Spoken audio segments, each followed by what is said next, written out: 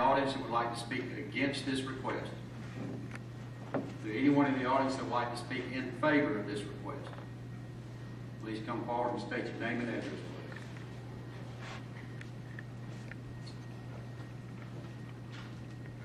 Good Commissioners, Chair. Bill Nijem, 1007 North Patterson Street. Um, I represent the applicant, Teramore Development.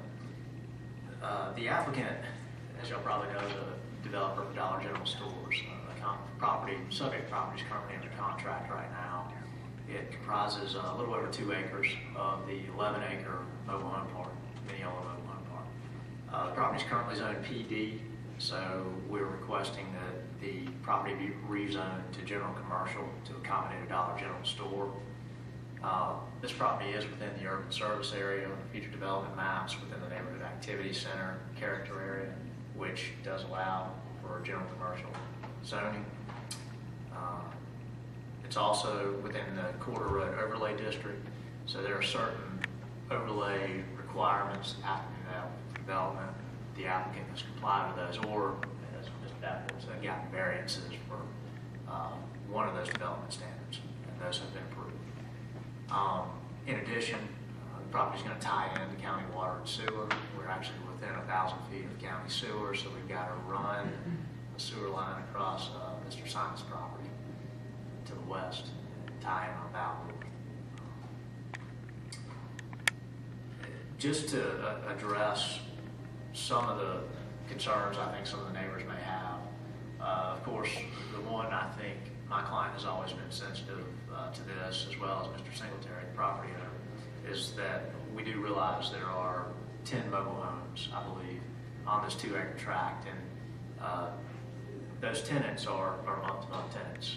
There are no written leases with them, Uh, so they're- tenants at will. Now, given that, um, you know, we knew from the forefront that this was going to be an issue, and so uh, Mr. Singletary's gone out there and met with these tenants, I believe about two or three weeks ago, it was before the planning commission meeting, uh, to apprise them of what was going on.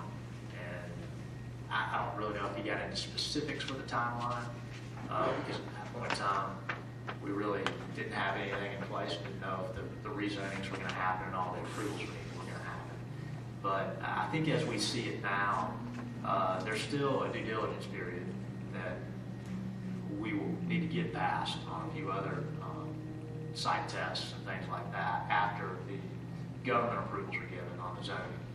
And so there's going to be 20, 25 days there at least, and then we're going to have, you know, another 60 days probably on top of that uh, to get, to allow these tenants to find uh, a new home. Uh, I do believe Mr. Singletary has five vacant vacancies on the property that's going to remain uh, mobile home park. And so obviously we'd be able to move some of those tenants over there. But there are four or five that uh, are, are going to have to find new place for their, their mobile homes. Uh, Now, that being said, the applicant and the property owner have also uh, agreed to share in some of the cost, the expense to help these uh, tenants relocate, whether it be to the adjacent property or to a new mobile home park. And so I- I don't know if that's something, I think Mr. Singletary did convey that to the property owners. Um, Obviously, the, the cost to move is going to be different depending on where they go. Uh, But I, I think the agreement is, at least between my client, Mr. Singletary, that up to a certain uh, amount of money, that they would agree to share in and help these tenants relocate. So I, I just want to say that, you know, we're, we're sensitive to the fact that these tenants have been there, a lot of them for probably decades, and um, are going to work with them to allow them time to, to find another home. Um, I think the other, some of the other issues, and Mr. Mr. Moles was the property owner to the south. I don't believe he's here tonight, but uh, he had some concerns, obviously, about privacy um, that we did address the planning commission phase. If y'all uh, see on the site plan, there's going to be a six-foot privacy fence on the south uh, property line, the western property line and back, and also the northern property line, so all the way around the property, uh, to address some of those privacy concerns of the residential tenants on either side. Uh, And in addition, you know, the parking lot lighting, uh, that's always a concern too. We will obviously ensure that that does not spill over to the adjacent properties and will shine solely on parking areas. Um, uh, You know, the, the road widening was mentioned. The site plan, as it is now, does take into account the fact that this road may be widened in the future. So if it ever is widened, uh, the development sits far enough, back to accommodate that, okay? Um, Trying to think if I've got any other. Uh, The side panel, that was discussed uh, somewhat with uh, Mr. Davenport and a few of the commissioners. You know, there's the standard side paneling you see in a lot of these Dollar General stores.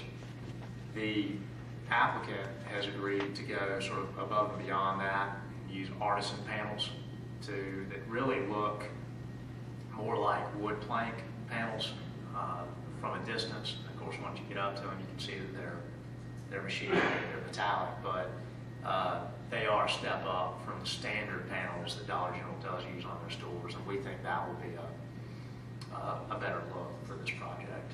um, Because you're, you're gonna be able to see the side of the building coming from south on on Highway 41. Uh, The front, the facade is gonna be masonry, so um, I don't know if that's on the site plan we have, I don't think it is, I wanted to relay that as well. I'm happy to answer any questions anyone may have. Uh, We also have, uh, Mr. Singletary's here, a property owner, uh, a representative from Teramore Development's here, if y'all have questions directly from the developer, and uh, Clayton Milligan's here from Lovell Engineering. He's, of course, helping with uh, the site plan and the engineering. So, We have any questions for Mr. Knight? Okay, Thanks, thank you. Mr. Chairman, did you say uh, Mr. Singletary was here as Yes. well? This I believe? Mr. Knight said that Mr. Singletary was. I just, I just wanted to know if he's the property owner. Okay. One second. Yeah, you're asking if he's the property owner? Yes. That's my understanding, yes, Mr. Singletary is the property owner. And I just wanted to know, could he give some type of assurance or or understanding of the timeline that you're talking about? I didn't, he, he said he, could- he couldn't go into detail about the timeline, but I was wanting to know if the property owner could. Okay, we'll, we'll see. Hang on with that just a minute. All right, um, is there anyone else in the audience who would like to speak in favor of this request? Did y'all need to ask any questions? Please come forward if you want to speak in favor of it, state your name and address, please. I'm Trip Singletary, I live at, uh, eleven oh eight North Lake Shore Drive. Uh, Would you like to address the question that Commissioner Marshall? About the timeline? Yes. You know, we, we had a meeting out there before the postings went up, or the week of the postings, just to let them know what was kind of taking place. And, uh, we told them that it would be probably sometime in the end of November before, uh, you know, we got through the, the different hurdles for the planning commission, the county commission, that type of thing.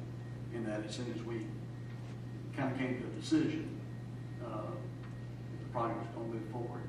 You know, then we talked about, you know, sixty days from that point. Um, And like I say, there, there is probably, um, there's like five vacancies on the other, say nine acres. There's been one trailer out there that's condemned. I think, you know, if the folks that are gonna be displaced wanna stay in that park, I think we're gonna have room, I've got a couple that are behind rent. I think we're gonna be able to accommodate, um, probably eight of the ten that are there. And we did talk about, uh, maybe up to a maximum of fifteen hundred dollars that we would participate in some of the costs, uh, of moving, relocating the trailers, whether it was this park or another park. Uh, That's all I have. And we, we had a nice meeting out there at the, town of. Is there anything else? Any, any other questions for Mr. Singletary? Okay, thanks, sir.